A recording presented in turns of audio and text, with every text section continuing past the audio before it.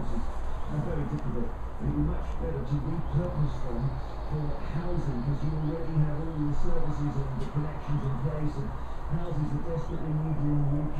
All right, got some ideas there. But we know this record.